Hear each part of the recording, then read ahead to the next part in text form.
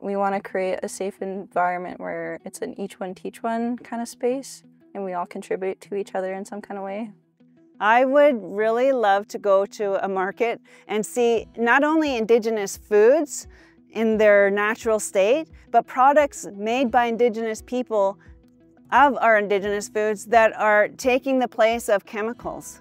We're just really hoping to inspire people to help us or join us or learn from us. Because of the Stream 1 and Stream 2 funding for the Indigenous Food Sovereignty Program, we've been able to begin our foundation, literally our foundation. Our property here is about 10 acres of untouched field for the last 15 years. And so it's a lot of work to put in a food forest.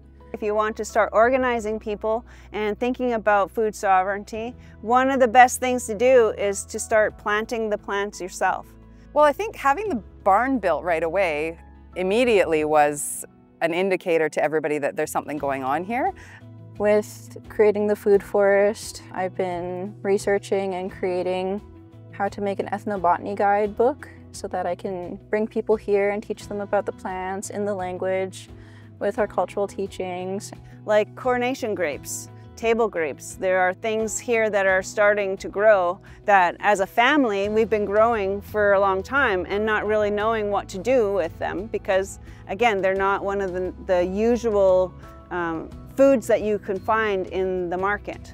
And the abundance that will come out of this property later could feed the community and it will really help increase the resilience in a time where things are changing so fast. Specifically for this project, we really want to be teaching people how to be syilx again and know how to live off the land or live with the land with whatever they have. To be working with the land is to be healthy.